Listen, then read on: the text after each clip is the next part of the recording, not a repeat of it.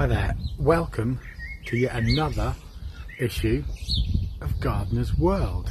And as you can see right away, I'm joined today by Titch Marshmallow.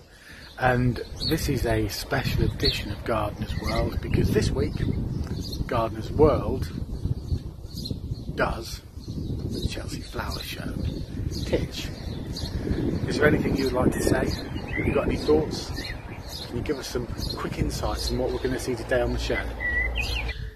Yeah, thanks, um, Steve Dog. Thank you very much, Steve Dog. It is going to be a great show today. And as always here at Chelsea, we do like to go around some of the gardens and just see what the designers have come up with. So, first of all, first up, Steve Dog, um, I think we should go and look at some of these gardens and see why they've won the high accolades that they have indeed won. Yes, thanks, Titch. So there you go, folks. Let's get straight into the show. First of all, we're going to go to one of the gardens in Chelsea Flower Show.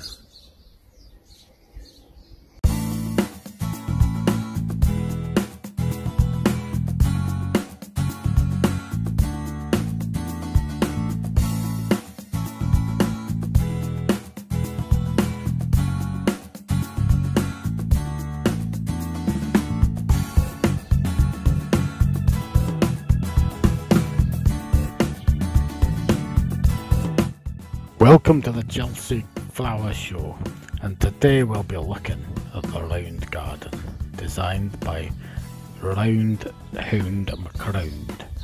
And here is Monty Dog now, who's going to give us a review of this wonderful garden.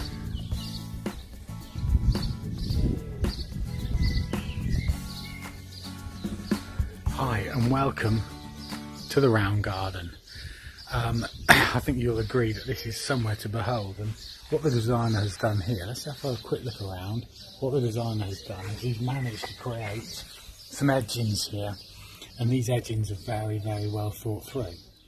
So what we've got here in this garden is a round edge and the garden designer has achieved this by using pebbles around the side and then he's encouraged growth such as for example the common dandelion around the side to punctuate the formality of the garden and let nature back in.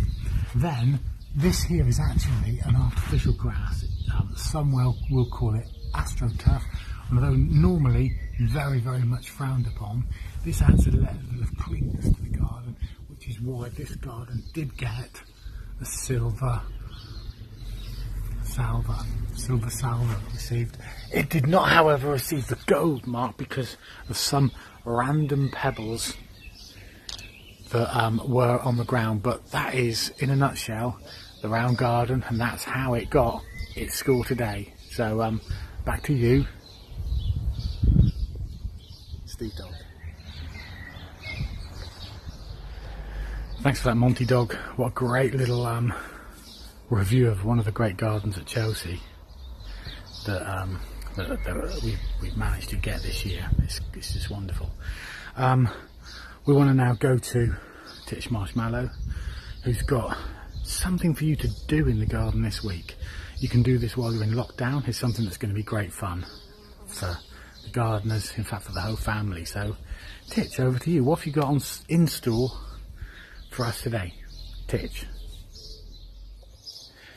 Thank you, Steve Dog. Yes, you can see here that we've got an abundance of daisies on our lawn at the moment, and this is absolutely quite wonderful. And you can see as I as I zoom in here, the clarity and the beauty of the daisy is something to behold. It's it is quite remarkable, and I think for the early season pollinators, um, there's no hurry to cut these little puppies down. Okay, just enjoy them.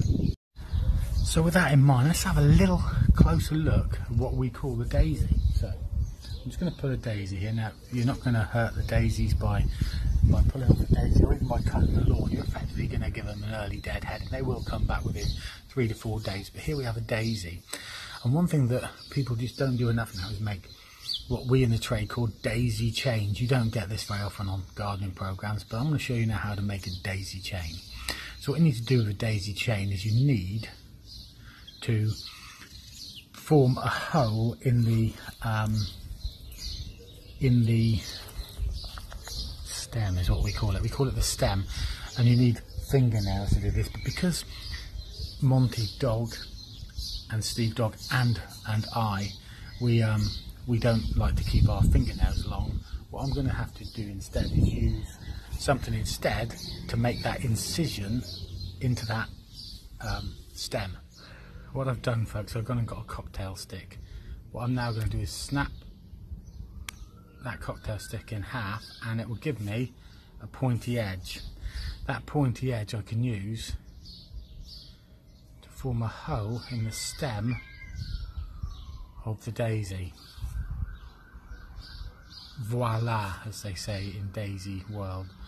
Make the hole a little bit of an incision there and then what you need to do is pick another daisy and that daisy then the stem of daisy number two, which is the later daisy, goes into stem of daisy number one, which was the earlier or former daisy. Just remember that. Um, and then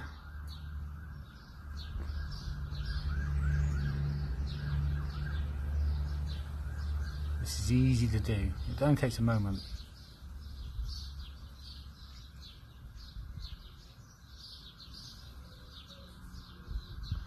and then what you can do is right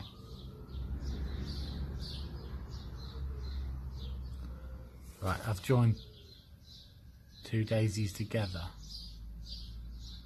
but what you really want to do ideally is make the cut towards the bottom of the stem just showing you how to do that wrongly so you can do it correctly this time so now if I make a cut to the bottom of this stem be careful not to stick the bit of wood in your finger. I'll get a third daisy. This is daisy number three, so we've got one, two, three there. I will admit that the first daisy was quite tricky to put in there, but the second daisy was will be easier to put in. So after all of that,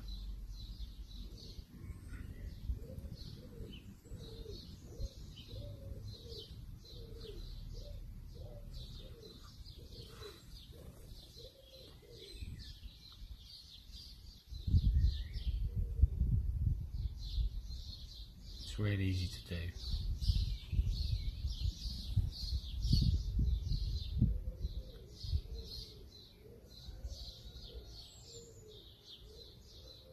There. And so we have a daisy chain. Now, if you look across the screen in a moment, I'll show you, oh, look at the sparrow up there, how, and that's part of being in nature, folks. You can be nice and quiet with nature, making your daisy chains this weekend. Um, please provide feedback below because it would be really great to see who's made the longest daisy chain. My daisy chain so far is three, okay? Let's see if you can beat that. Okay, back to you, Steve Dog. Thank you very much for that, Titch. Now, it's been a great, um, great show so far. I think you all agree. But neighbour's dog barking yet again. Anyway, it's been a great show um, so far, I think you'd agree. But I've just received a very, very important um, phone call because um, there's an inspector about to arrive um, here at Chelsea very, very soon, and we need to prepare for that inspector because it's not any ordinary inspector. Let me explain a little bit more. Here we can see our old friend, the Bug Hotel. And as with hotels, you have to make sure, oh, nearly fell over, you have to make sure that they are up to scratch and stuff. Okay, so um, that way they get a ticket. Get a ticket, they can remain open. So the hotel inspector is coming over today to hopefully give us a ticket. And that hotel inspector is none other than our old friend, Alan Gardner. Let's see what Alan's got to say about his bug inspection today.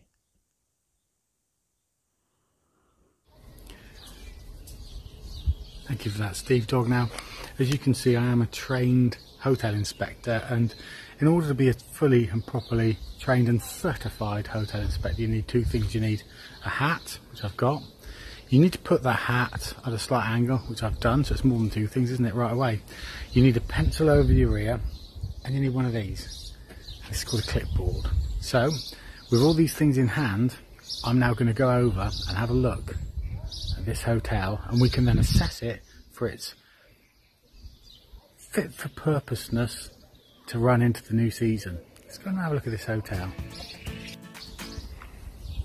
Well, here we are at the hotel and I think you'll find that it's got some great accommodation. I've had a good look inside and out and I did spend a night living in this hotel actually last night. Um, we cut that out of the editing, of course, to make the show a little bit more punchy and um, but it was a nice stay. Um, the accommodation was great. The facilities of the rooms were they were limited and the rooms were a little bit smaller than I'd have hoped, but ideally they were very good. They were cleansed to the required standards and therefore because we want to call an end to this feature now because people are getting fed up I give this hotel a five star hotel rating so it's it's got a certificate which it can proudly put somewhere in here, in here, these slots here, or in one of the rooms up there. But it can proudly show that certificate going forward into the new season. So it's a great pleasure, and I am a very stern inspector, for me to give this a full five star rating. Back to you, Steve Dog. Yes. Thank you, Alan. Great, great news for the hotel. It can maintain its trade into the new season. Five stars. You don't get that at every hotel. I can tell you. Anyway, now we've got one thing that we do need to do because this is it's going to go over to um, Titch Marshmallow for jobs for the weekend. Over to you, Titch. No. Let Monty do this one. Monty. Monty Dog, over to you. Thank you, Steve Dog. Great, great, great that I'm getting this one. Now, my hair, as some of you will notice, has gone a little bit straggly and scraggly. And we're in lockdown, so a lot of people are struggling like that. But there's one guy who's struggling more than anyone, and that person is our good old friend, Dave the Shrub. So today, I'm going to give Dave the Shrub a stay-at-home haircut. He normally has his haircut at home anyway. Um, but let's see how we do that right now. So let's go and cut Dave the Shrub's hair. I'm going to narrate over this because I'm going to be going further away from the camera than right now. Hopefully you'll be able to hear me. So over to me, over there with Dave the Shrub. Hiya Monty, I'm really looking forward to this haircut. It's going to be great. So advice from when you're for when you're cutting um, shrubs is to really make sure you get good structure as you go around the outside of the shrub. We obviously have to make sure this is perfect. But make sure you've got some good ladders because you might need those. Loppers like this mightn't just be enough. So here we are with the ladders doing a thorough job. Careful Monty, it tickles, but I reckon it'll look great. Remember, when you're cutting your hair or your customer's hair, you need a mirror so they can see what it's like from behind. And Dave the Shrub is no different here. Let's just make sure he's happy with this haircut. That's amazing, Monty. What a job well done. I'm so happy with that. Well, I think you'll all agree that was a gr great job done. Dave the Shrub's happy. And um, back to you, Steve Dog. Hope you're enjoying the show, folks. And as you can see, um, while I'm presenting this Titch back there, look, he's um, as you can see, he's he's already working help, helpfully and gainfully on the garden. But now we're going to go and look around a few more gardens at Chelsea. Is that okay with you, Titch? Let's look around Chelsea.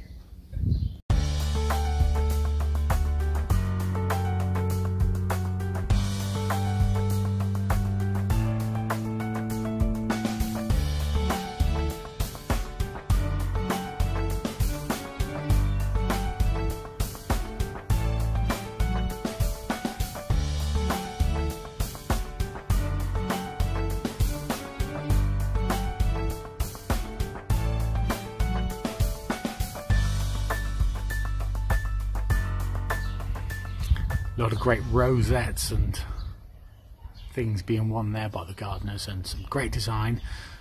Some melding, some interfaces of design and ideas and nurturing the garden. So just remember folks, when you're in the garden this week, take a little time to stop, take a little time to reflect.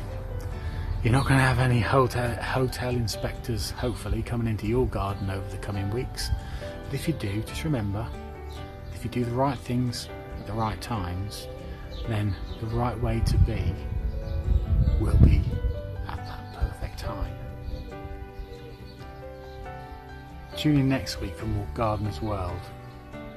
Yes, I'll be back with Monty Dog, Titch Marshmallow, and all of our usual friends. Stay safe. Remember, more than anything, keep gardening.